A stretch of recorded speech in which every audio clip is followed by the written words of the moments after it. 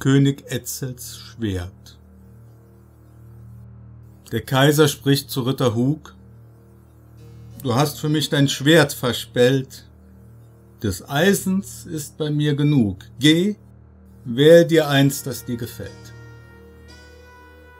Hug schreitet durch den Waffensaal, wo stets der graue Schaffner sitzt.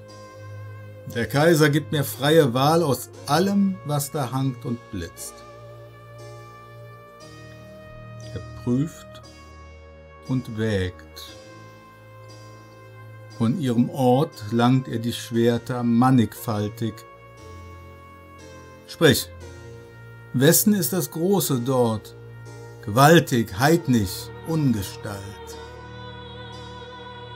Des Bürgers Etzel, flüstert scheu der Graue, der es hält den Hut, des Hundenkönigs. Meiner treu, so lechzt und dürstet es nach Blut. Lass ruhen. Es hat genug gewirkt. Die tote Wut erwecke nicht. Gib her! Dem ist der Sieg verbürgt, der mit dem Schwert des Hunnen ficht.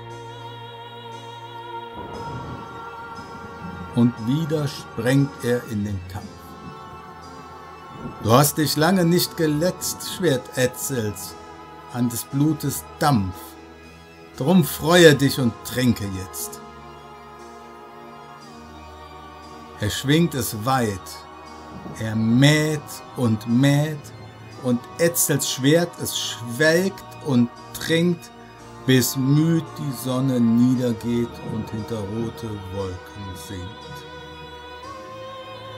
Als längst er schon im Mondlicht braust, wird ihm der Arm vom Schlagen matt, er frägt das Schwert in seiner Faust. Schwert Etzels, bist noch nicht du satt? Lass ab, heut ist genug getan. Doch weh, es weiß von keiner Rast und hebt ein neues Morden an und trifft und frisst, was es erfasst. Lass ab! Es zuckt in grauser Lust, der Ritter stürzt mit seinem Pferd und jubelnd sticht ihn durch die Brust des Hunnen unersättlich schwer.